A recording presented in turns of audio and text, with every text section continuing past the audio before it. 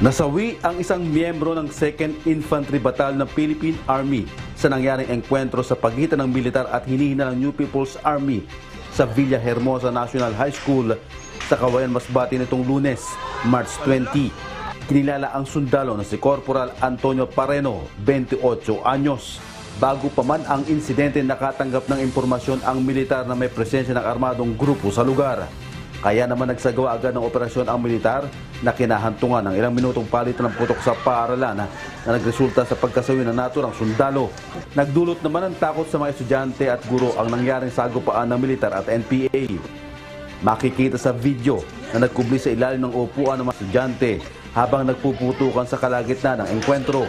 Nasamsam naman sa nangyaring insidente ang isang R4 assault rifle, tatlong cellphone, dalawang improvised explosive device, mga gamit sa paggawa ng pampasabog at mga personal na kagamitan at dokumento.